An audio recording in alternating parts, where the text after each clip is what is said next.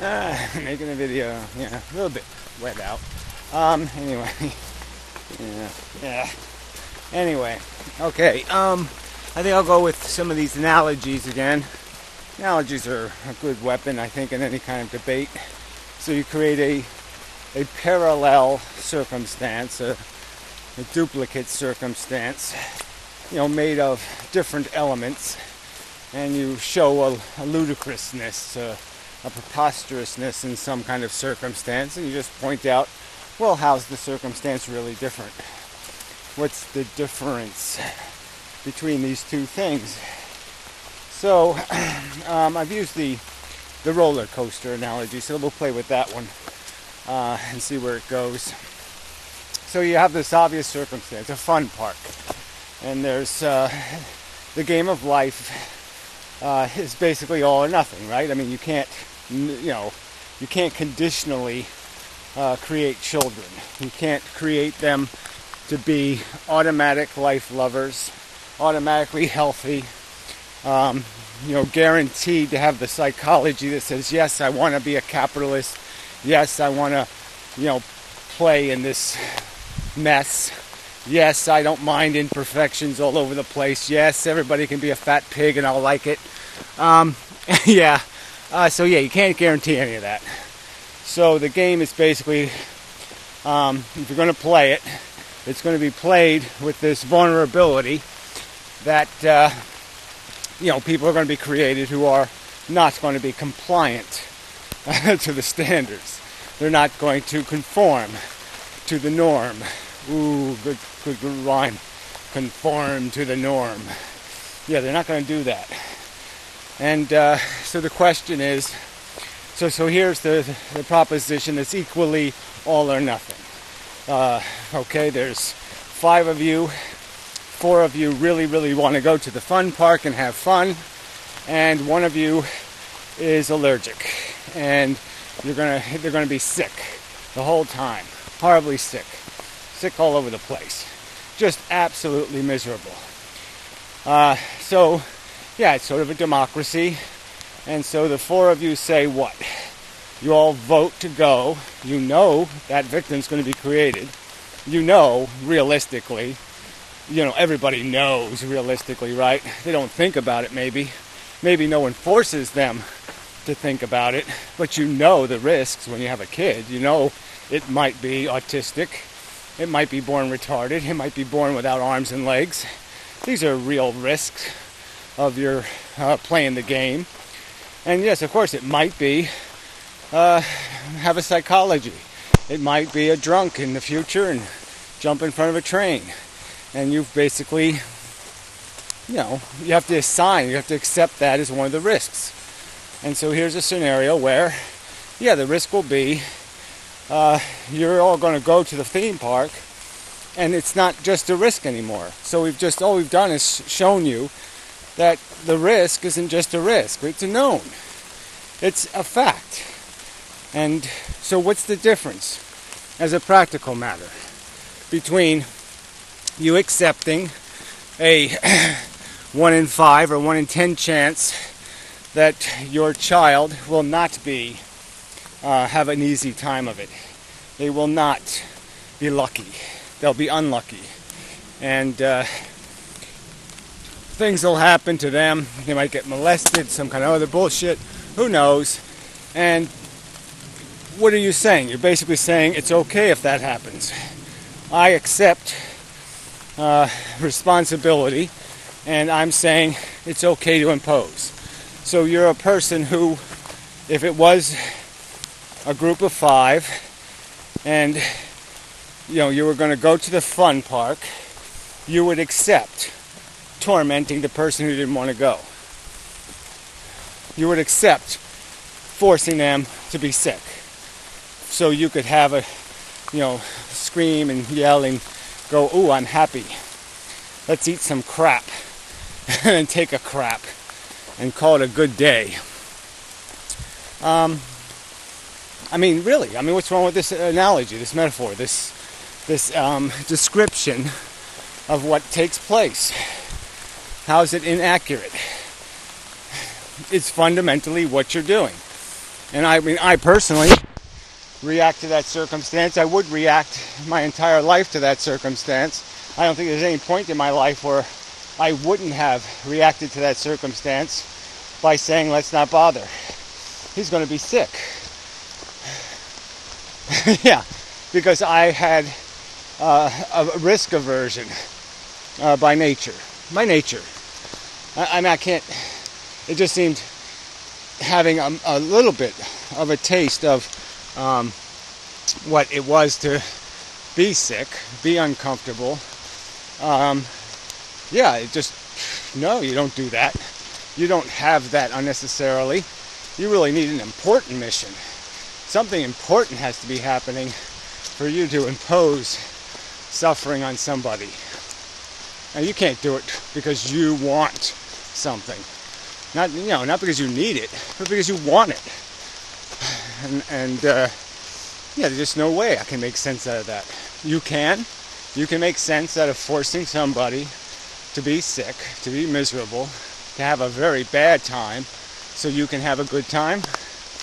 You can do that math in your head and come up with that answer.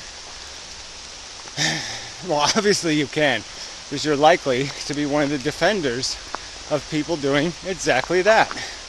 That's exactly what the uh, common perception of risk assessment is.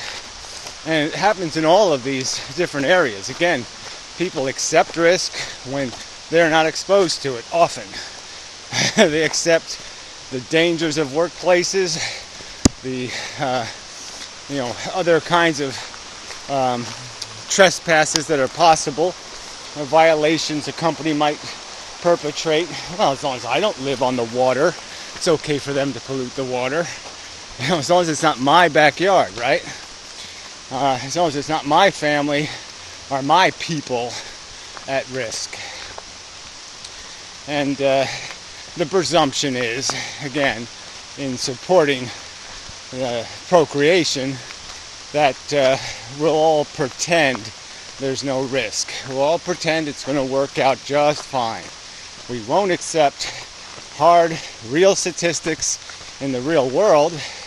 No, we'll just talk nonsense. Uh, I mean, people who support the right of people to have kids, they're supporting, you know, two in a hundred go to college.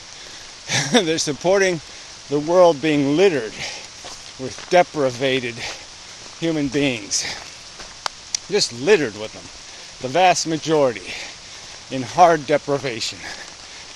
And you're just saying, fine, I accept that because my life's so, so charming and my rights are so sacred that there's no way I would force myself to take some kind of competency test you know, I, am not going to support that idea uh, because I certainly wouldn't want to have to take a competency test and defend what I do. Uh, I mean, it's just so obviously uh, unrealistic and irrational. It's irrational to defend what is indefensible logically. And, and the indefensibility of it can be illustrated so easily with just this simple sketch of what's actually taking place. Four people are simply saying to the fifth, fuck you. I don't care. I want, and my want is greater than your welfare. Uh, period. And that's all you're doing. And instead of accepting that as the truth, you run from it, you pretend reality is something else. Pants are falling down. For no good reason, except that I guess I didn't tie them properly. Uh, anyway, um, uh, yeah. So yeah. So it's a, a, a suitable analogy. Um, it's the parallel analogy would be um, you know, the any anything that's a group uh, imposition. So you could have a restaurant, and uh, you know, if the restaurant, you know, kills one in ten patrons, or even let's say one in a hundred, one in a thousand. I mean, the number doesn't have to be very high, right? And certainly if it makes one in ten sick, very sick, um, you're going to close it down. You're going to say, "Hey, you can't, you can't do that. That's that's not good enough. That's not even close to good enough." And yet, these are the realistic outcomes here on planet Earth. Uh, you know, one in a thousand will uh, find their life insufferable, um, horrible, awful, and and a lot more than that will find it uh, difficult, a struggle, nasty, uh, not something they do over again for sure. That number gets higher and higher. Um, you will allow this to keep happening. You don't come to the rescue. You don't do anything to protect these people because you have converted them somehow into nothing, into some kind of enemy that's that's poo-pooing on your your fun. you know, because yes, you seem to think you're immune. The restaurant can't hurt you because you like it. okay, you have whatever, a cast iron stomach, and it can't make you sick. Uh, you know, you'll eat up all of this crap. You love to watch animals eating each other and the blood gushing out and the screams and the horror. You know, so it's all fine for you. It's all perfectly consumable. And so you're just going to say, eh, regulation, regulation, uh, you know, who cares? And for no other reason, right? No rational reason except you suck. yeah, there's no other way to put it. No other statement to be made. Uh, you're just not in my backyarding. You're just saying, I got mine, fuck everybody else. And who's supposed to say anything to that but, God, you suck. There's no other response. you know, it's no other reality. Uh, you're just a, a taker, plainly. You might as well own slaves. You might as well beat your wife. Uh, because uh, clearly it's all about you and doesn't really include any other uh, acceptance of any responsibility for what your ability to you is made out of. You know, it's like the inheritance rich, you know, lording about with the law protecting their money, protecting their entitlement. They didn't earn any of it. They just, oh yeah, well the law says so. So it's all okay. That's the law. yeah, it doesn't doesn't have to mean anything, right? It just that's the, doesn't have to be any integrity. They don't have to earn it. They can just take it, and they'll be happy to do so. And they'll be very happy to just point their finger at everybody else and say, "Pull up your bootstraps. Work harder. Be more productive. Make yourself important." you can do it. yeah, they didn't have to, but you can. I mean, these are obvious, grotesque uh, hypocrisies, and uh, you know they're just easily revealed um, by just analogizing to um, simpler diagrams that include all the key features and just basically show, reveal the truth which is your wants are more important than other people's needs. It's not any more complicated than that. You're just takers. Uh, you're insensitive, cruel, uh, obnoxious, um, arrogant, uh, unqualified, uh, unreasonable in your behavior. Um, you can't defend yourself against the analogy, and you can't explain how the analogy doesn't completely and fully and entirely uh, describe the essence of this reality.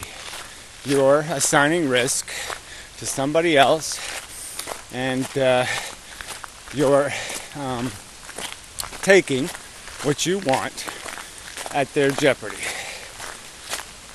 Nothing else. There's no, no other facts necessary. It's, this, it's the plain, flat, ugly truth. Uh, so argue it. Explain how the analogy doesn't fit. Uh, how there isn't um, a completely um, accessible knowledge um, of the practical risk, the fact that you are not going to be immune to the creation of the Frankenstein monster, the worst case scenario. You're not immune to it. You have every possibility of rolling the snake eyes uh, of disaster, and you're just saying it's not going to happen to me. you know, it's he's the he's the sucker. Uh, you know, uh, yeah, I'm creating my own sucker, my own uh, um, slave, essentially. And I'm hoping he's going to be, you know, lucky charms. He's going to be, everything's going to work out just fine. But hope is not reasonable. Uh, wishing is not reasonable. These are not cures for reality. Hope and wish. This does not cure a, re- a problem of reality. So that's nonsense. Uh, completely illegitimate. And such. So, I don't know if I need to add on. I do have to take the extra walk. I could deal with some comments, but I don't know if I want to add that in this video. Do a separate video for that. Tranquil, the slandering petty liar. I'll take care of him again. Uh, once and for all, so to speak. Um, so anyway, uh, where was I? Filter. yeah, cool. Later for that. Um, anyway, off to work I go. I hope, I hope. Um, all right, so let's see if there's any other. I mean, you can do all kinds of, um, you know, subtle changes to the thought experiment. So you can add, uh, you know, just create some other um, um, diagram that just includes this basic like the gambling one. This is a perfect the same same difference.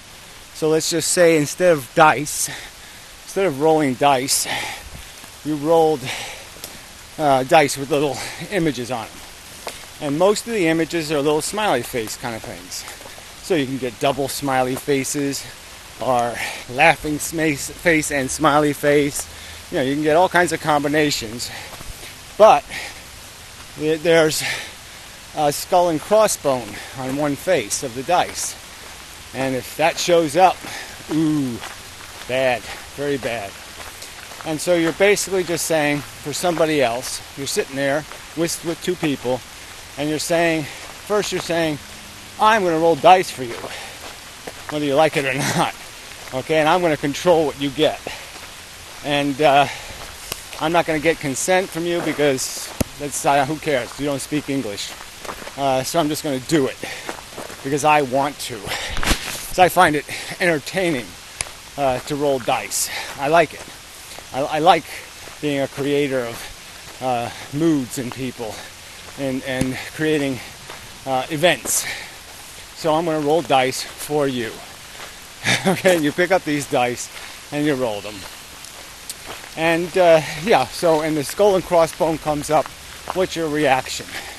Too bad. Whoops. My bad. Is that it?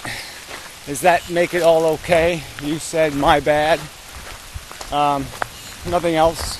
We, we shouldn't expect anything else from you. You're just going to say, eh, you know, hey, everybody else is doing it. is that it? Everybody else is doing it. Oh, okay. That's the excuse. Yeah, that's a brilliant one. Yeah, that's right up there. Aristotle thought that was brilliant. He said, "Yeah, yeah, yeah. That's a, that's a great logical argument. Everybody else is doing it." Uh, so what? What's your excuse? You just sentenced the person to horror, pain, suffering, misery, And uh, what are you going to do about it? Roll the dice some more? Well, maybe I can catch up. Oh, so you're a gambler. I get it. And so, yeah, you're just going to double down. So why not risk two or three more people to try to see if you can fix the mess you made? So yeah, let's build some more nuclear power plants and see if we can fix the one that's broken by building some more and doing it right instead. Getting lucky. Yeah. So let's undo our bad luck uh, by risking some more bad luck to get some good luck. yeah, that's going to fix your victims. No, that's not. But that's the perception, right?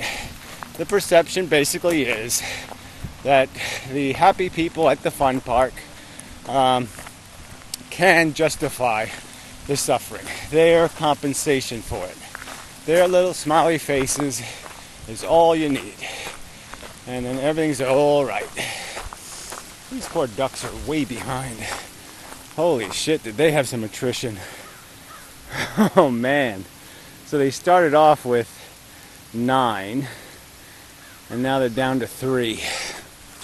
Yeah, so six are dead in some kind of probably not pleasant manner, and it's okay because we still got three left.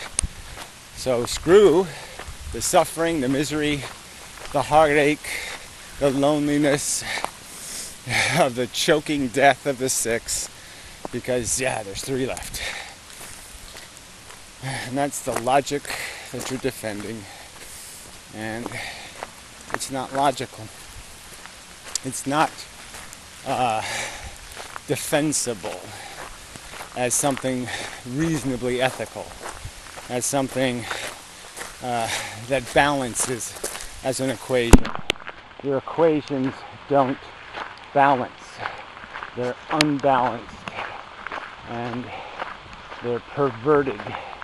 And it's all perverted by your uh, ego, your vanity, your fear, uh, your attachment, uh, your Borgish um, ownership. you are owned by the team colors. You can't grow out of it. Uh, at least you can't seem to grow out of it uh, with just plain logical argument. You're only going to grow out of it, it seems, uh, you know, when the piano falls on awful close to you. yeah. And all of a sudden you might hear the noise. You might recognize the threat. Sad, but true. But I'm going to assume you do have a little character you do have some wish to honor the truth, uh, to recognize the truth when it's been uh, revealed, pointed out, shown to you, when you've been taken over to it and somebody said, Here, look at it. This is what's really going on. So I'm going to assume you can do that. That you can uh, through understanding alone, recognize something's wrong and change to accommodate that wrongness. Just like I became a vegetarian simply because I recognized there's something fundamentally wrong in my behavior and what I was endorsing, and uh, it needed to be changed. All right. All right, now we're done. The camera's still yeah, didn't get clogged by water.